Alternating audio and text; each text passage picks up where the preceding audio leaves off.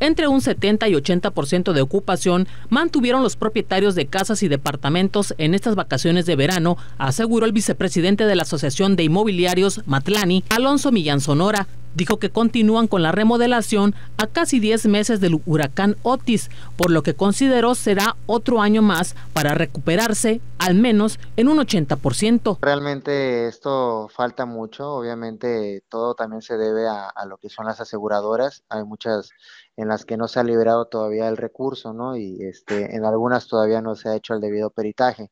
Entonces, eh, consideramos aproximadamente que estamos alrededor de un 60 este, por ciento en lo que es la restauración de, de, inmuebles. Esto debido a que algunos inmuebles pues obviamente no contaban con ningún seguro. Será en la temporada baja cuando aprovechen para continuar la remodelación de los inmuebles y para el mes de diciembre puedan ofrecer más espacios en buenas condiciones por otra parte, agradeció el apoyo que el gobierno federal otorgó con la gratuidad de la autopista del Sol, que benefició por la llegada de turismo en los meses malos. Pues esperamos que de ahorita en adelante lo que pinta para septiembre, para el puente de noviembre y las vacaciones de diciembre, pues bueno, obviamente como ya vimos este meses anteriores, pues eh, esperemos que pinte mucho mejor ahora para esas próximas vacaciones. Teresa Lubiano de Labra, RTG Noticias.